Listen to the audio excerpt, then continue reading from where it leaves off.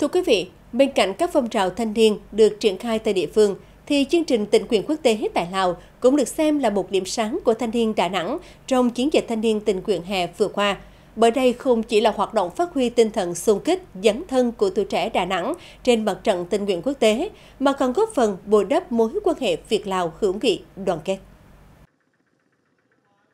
Những hành trình tình nguyện quốc tế tại các bản làng, địa phương còn gặp nhiều khó khăn của nước bạn Lào đã trở thành hoạt động thường niên được duy trì từ nhiều năm nay của tuổi trẻ Đà Nẵng. Khám bệnh, tư vấn, phát thuốc miễn phí cho người dân hay trao quà hỗ trợ cho trẻ em, học sinh còn khó khăn tại các điểm dừng chân đã lan tỏa những ấn tượng đẹp về các chiến sĩ áo xanh tình nguyện.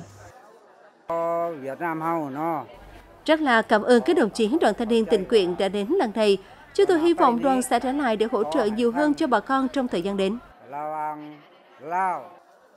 Đây cũng là hoạt động thiết thực của tuổi trẻ thành phố nhằm tăng cường mối quan hệ hữu nghị Việt Nam-Lào và tình hữu nghị giữa tuổi trẻ thành phố Đà Nẵng với nhân dân, tuổi trẻ nước Cộng hòa Dân chủ Nhân dân Lào, đồng thời phát huy tinh thần sống đẹp, sống cống hiến vì cộng đồng xã hội của thanh niên thành phố Đà Nẵng. Cảm ơn sự hỗ trợ của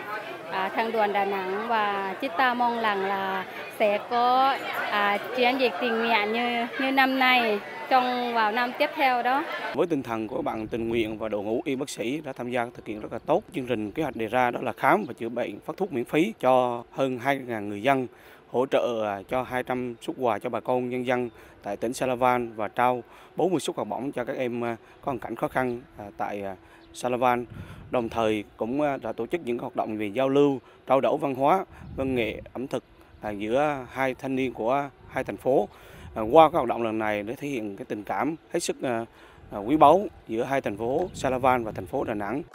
Việt Nam và Lào là hai quốc gia láng giềng với mối quan hệ hữu nghị truyền thống luôn được giữ gìn vun đắp.